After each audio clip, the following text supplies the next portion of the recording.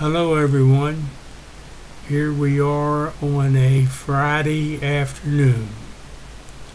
It is the 7th of August 2020 and is it about 2 o'clock in the afternoon. We're making a flight around the Clearview construction site.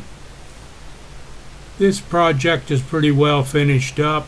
Looks like the swimming pool was put in and completed. Fences are up, grass is planted, so I guess we're done flying around up in this area. Down in the comment section there'll be a link down there. You can click on that link and that'll take you back to one of the first flights we made around this area when they started this construction. You can uh, see the changes. So that's about all for now.